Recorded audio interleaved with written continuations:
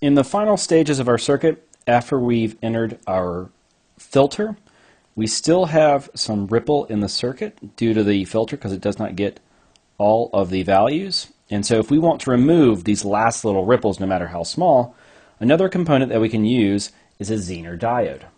And so what we saw for Zener diodes is that these devices, when they are put in reverse bias mode, will set and sink a fixed amount of voltage. So if this is a 5 volt Zener diode, it will ensure that 5 volts is always across the diode, and if it needs to, it will sink any extra current through this circuit. So in our final stage here, we will have a Zener diode that takes our filtered circuit, our uh, filtered circuit, and actually completely regulates it down to its particular level. So this is why in the preceding elements, we want to make sure that the ripple is not too large. So if our ripple is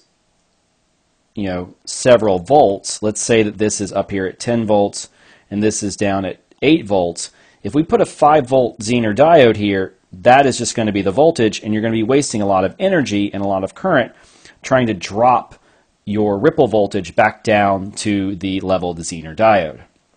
So even though it's the final stage, you want to make sure that when you design your circuit, your ripple is just above this level of wherever your Zener diode is to ensure that you're not wasting a lot of energy getting a nice fixed voltage out of the final stage.